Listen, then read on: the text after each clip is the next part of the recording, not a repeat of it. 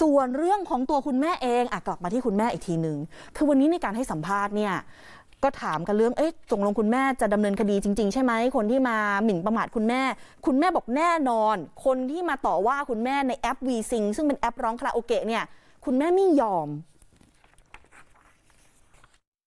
เกรียนคีย์บอร์ดเนี่ย คุณแม่คือไม่โซเชียลนะคะ คุณแม่จะพูดจะจะดำเนินคดีเฉพาะในวีซิงใน FB วีซิงที่คุณแม่ร้องเพลงเนี่ยเข้ามาด่าคุณแม่ถึงตัวเลยนะ แบบหยาบคายมาก มากมากๆด้วย พอเขารู้ว่าคุณแม่จะฟ้องเนี่ยสองไลน์เมื่อคืนมีไลน์เข้ามา DM เลยนะ direct message เลย บอกขอโทษเอาอย่างนี้แล้ว ก็คุณแม่ก็เฉยเฉยๆไม่ตอบ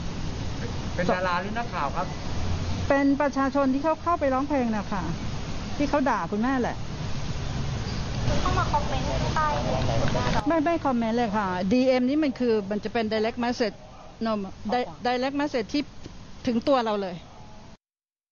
ส่วนทนายเดชากิติวิทยานันท์ทนายคุณแม่เนี่ยก่อนจะพาคุณแม่ไปหาตำรวจอะนะคะ ก่อนหน้านั้นมันออกโหนกระแส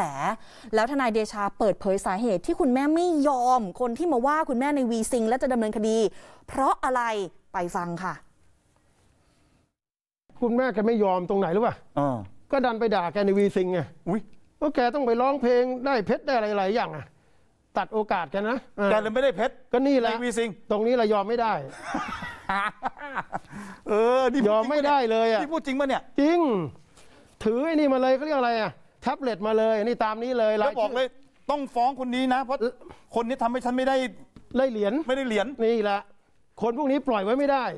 ถ้าประหารชีวิตได้ประหารเลย คุณแม่บอก คือคือถ้าอุตส่าห์ตายสถานเดียว ร้องเพลงเพื่อให้ได้เหรียญเออ ไม่มีการยอมความ ติดคุกสถานเดียวแกบอกมาเนี่ยตัวนี้นั่งรออยู่สำนักงานเนี่ยเนี่ยค่ะ ไปว่าคุณแม่ในแอปวีซิงทำให้คุณแม่เข้าไปร้องเพลง แล้วคุณแม่ไม่ได้เพชรคุณแม่โกรธมาก คุณแม่ไม่ยอม นี่ทนายเดชาบอกเองนะคะ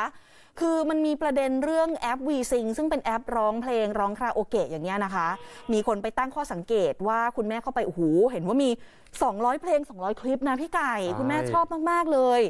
แล้วมันมีคลิปที่ 25 กุมภาพันธ์ด้วยอะค่ะ คุณตังโมตกเรือ 24 กุมภาพันธ์ คนก็มองว่า เอ๊ะคุณแม่ร้องเพลงหลังลูกตกเรือหนึ่งวันเหรอทำไมคุณแม่ถึงมีอารมณ์ร้องเพลง อันนี้ตูนไม่ได้พูดนะคะ อันนี้คือคนที่เขาไปไปมองแบบนั้นคอมเมนต์กันแล้วเขาไปคอมเมนต์ก็เป็นคอมเมนต์ที่ดุเดือดจนนำมาสู่การแจ้งความนี่แหละ